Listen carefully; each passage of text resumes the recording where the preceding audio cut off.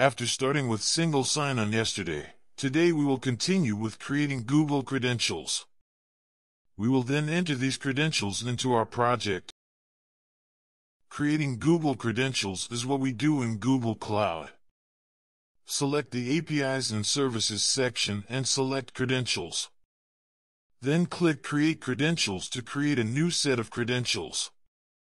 You select OAuth Client ID here. For application type, select Web Application. You can choose the name yourself. The only thing left to do is to insert the redirect URL. Click on Add URL and enter the following in the window.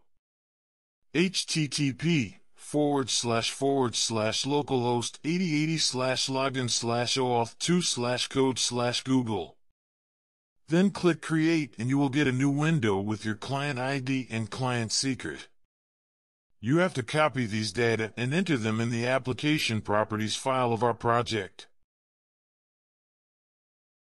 Back in Eclipse, we first need to set the client ID and client secret. Fill in the application properties file. Because Google works with a different kind of user, we need to make a small adjustment in the security filter chain. Here we need to change the hasRole to hasAnyAuthority.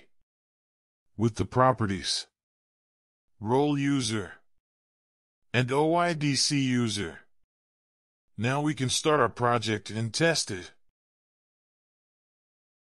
In our browser window we first look at our welcome screen.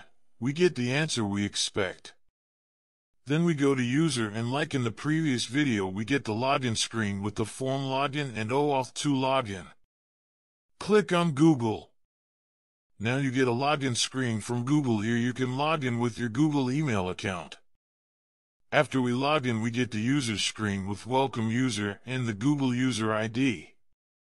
The form login part also still works. To test this we open a new private screen and open user again.